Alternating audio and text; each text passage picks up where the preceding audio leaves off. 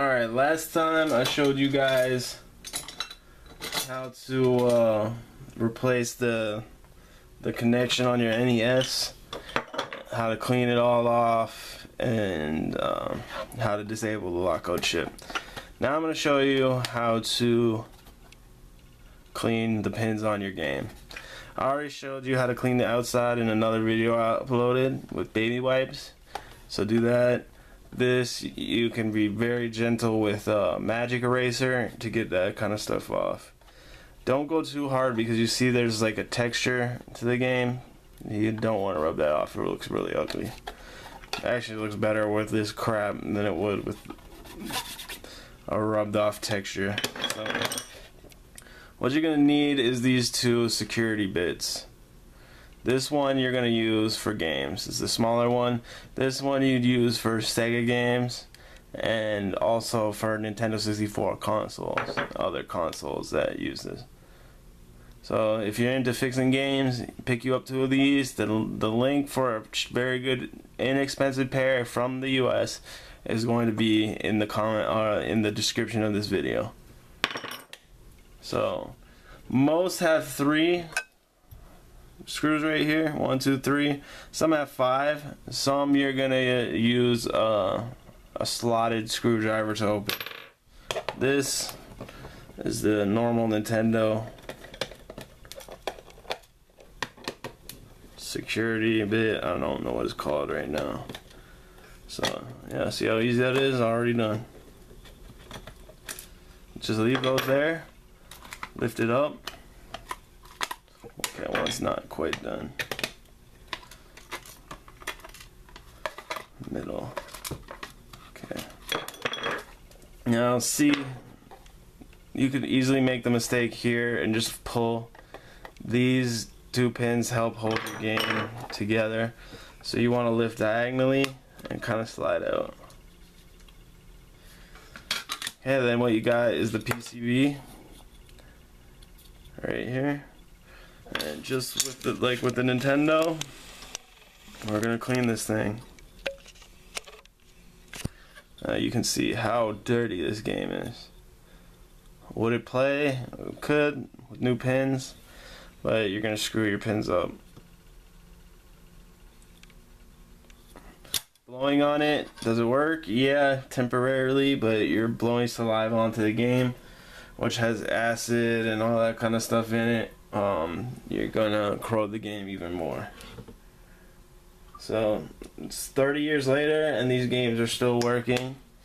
If you keep spitting on them, they might not last. So this one, I just put a little bit on, and I kind of go in a circular motion down the whole row. Get that on, and you can see it's kind of getting cleaner. You see the blackness on here.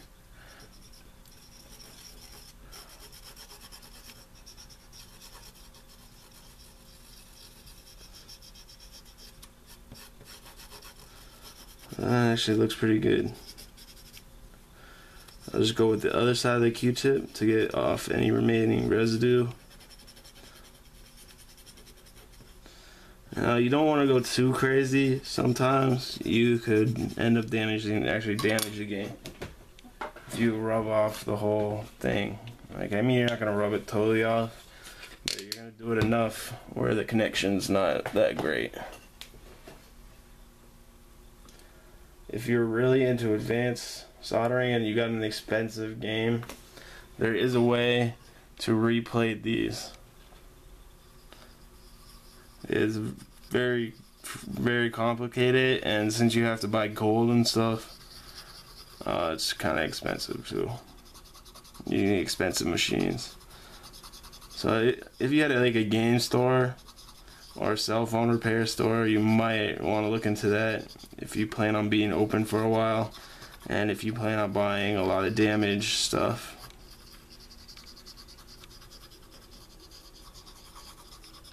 But I mean, if you're that advanced, you know how to print your own boards. So you'll be able to fix pretty much any issue.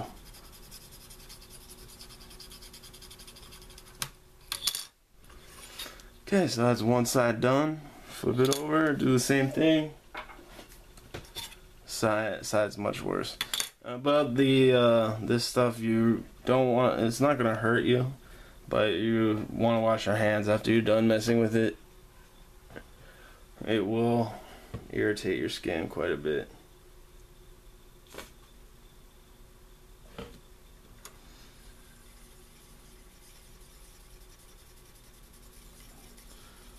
I'm just going to continue cleaning.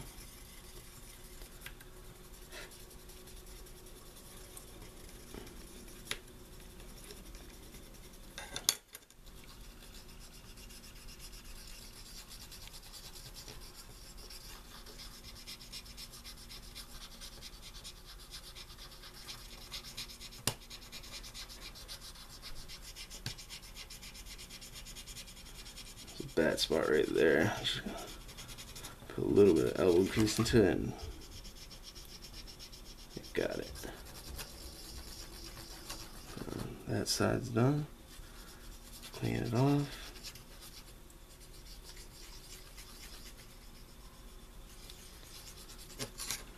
Okay, last one. Usually I use one Q-tip per side, but this one's pretty bad and there's a big separation. So I'm just doing each part.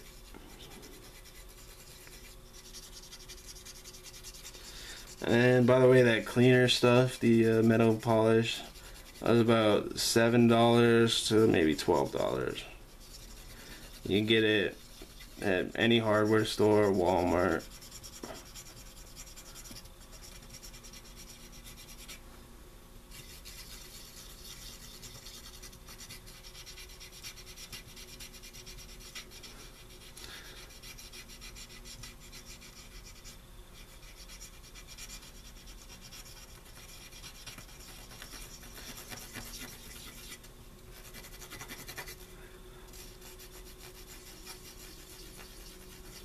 Okay, looks like we're done.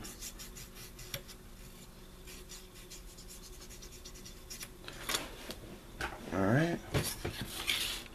Zoom out. Some crap here. Get rid of that. Okay, so. Just put your game back in the right way. Like that. And remember I told you about these knobs? Shit. Put in diagonally. And then put down. Screw in and play your game. That's it.